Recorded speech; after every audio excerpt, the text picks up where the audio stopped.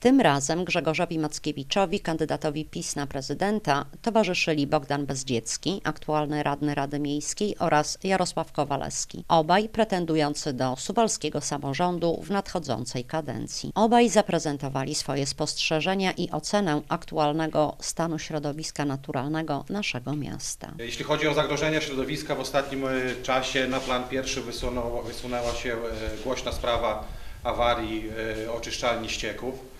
E, Uwidoczniły się e, zagrożenia z tym związane. E, Niestety okazało się, że zakład ten jest źle zarządzany, niedoposażony.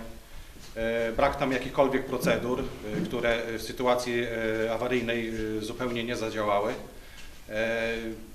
Widać wyraźnie, że przedsiębiorstwo to, pomimo tego, że zapewniano nas, że ono jest nowoczesne i bezpieczne, potrzebuje bardzo dużych inwestycji i, i wiele, wiele zachodu, żeby e, nie stwarzało e, zagrożenia dla środowiska. Rozwiązanie problemu przedstawił Grzegorz Mackiewicz. I proponujemy natychmiastową doposażenie e, oczyszczalni ścieków. To nie może tak być, że oczyszczalnia ścieków, która, na którą wydano grube miliony złotych, działa nieprawidłowo, że zrzuca ścieki.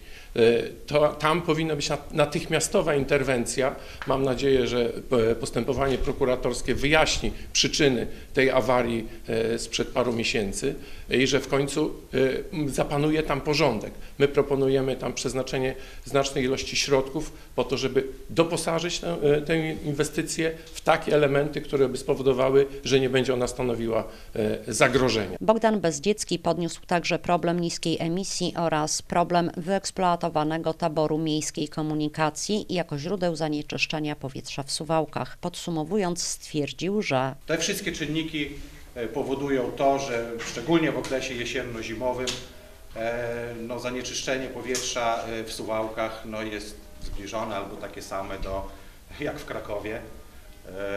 Wszyscy wiemy, że Kraków nazywają, nazywa się polską stolicą smogu, prawda, więc tak to niestety wygląda. Proponuję przeznaczenie co roku 1 miliona złotych na wymianę pieców, e, tych kopciuchów na e, piece ekologiczne.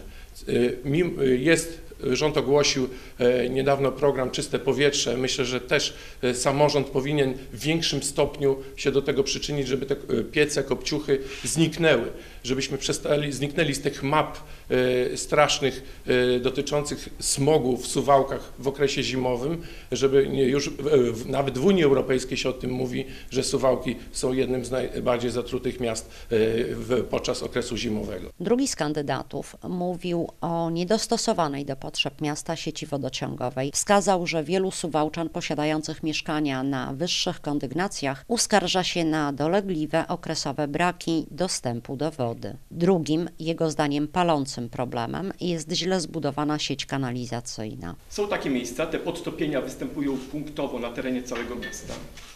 Y, Przykładem może być ulica Warszawska, rondo ze Słańców Sybiru, gdzie podczas dużych opadów deszczu występują rozległe zalewiska. Ja osobiście sam widziałem samochody, które przemieszczały, próbowały się tamtędy przedrzeć do innych części miasta.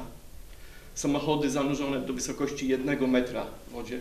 Możecie Państwo sobie wyobrazić, co to znaczy dla tych pojazdów, dla ich właścicieli, jakie dodatkowe koszty. Ciągłe zalewanie tych terenów y, przy opadach dużych deszczu, o których była mowa na osiedlu Hańcza, czy ulica Warszawska. To nie tylko topio, podtopione samochody, to także problemy mieszkańców tam mieszkających, którzy mają, wyobraźcie sobie Państwo, specjalne zapory y, w domach, które stawiają po to, żeby im nie wlewały, nie wlewały się te wody opadowe e, do ich garaży. Tam po prostu e, trzeba zbadać te miejsca. One, one wszyscy wiedzą, mieszkańcy przynajmniej wiedzą. Ja nie wiem, dlaczego samorząd, e, ekipa Rękiewicza tego nie wie. Tam trzeba natychmiast przebudować te sieci, e, te sieci kanalizacyjne po to, żeby w przypadku dużych ulew e, nie zalewało tych terenów, e, żeby na rondzie ze Słańców Sybiru, e, żeby można było normalnie przejechać. W tej chwili tam jest Niecka, która no, w, w pobliżu zalewu Arkadia, no, no, jest, tam, jest tam po prostu, robi się basen. E, To chyba nie o to chodzi, nie tak powinno wyglądać planowanie i budowanie e, rond e, i ulic na terenie miasta Przedstawiciele PiS wskazali również na konieczność urządzania parków na terenie osiedla Północ oraz skrytykowali drastyczne podwyżki opłat dzierżawnych za tereny zielone.